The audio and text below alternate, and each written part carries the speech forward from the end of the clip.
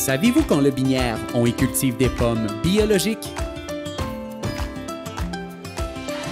De plus en plus prisées par la clientèle québécoise, les pommes biologiques sont le résultat d'un grand travail de prévention du pommiculteur. Certifiées biologiques après trois ans d'utilisation d'engrais naturels tels que des algues, les pommes biologiques de Lobinière sont dignes de mention.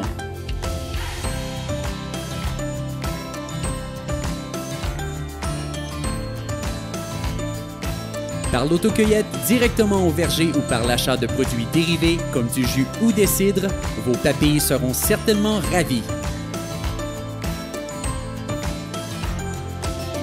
Pour découvrir nos producteurs de pommes biologiques, consultez goûterlebinière.com.